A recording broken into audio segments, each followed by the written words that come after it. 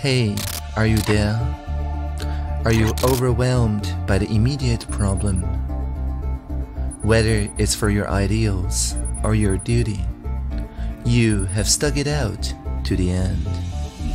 Hackers come from all walks of life. In this digital era, you don't need to face it alone.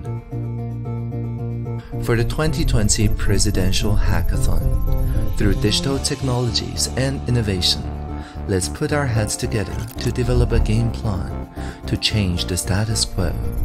Through the government's open data, let's do a checkup for Taiwan. Your solution will change our society. You could be the hacker that solves the problem. Hey, are you there? Team up, hackers.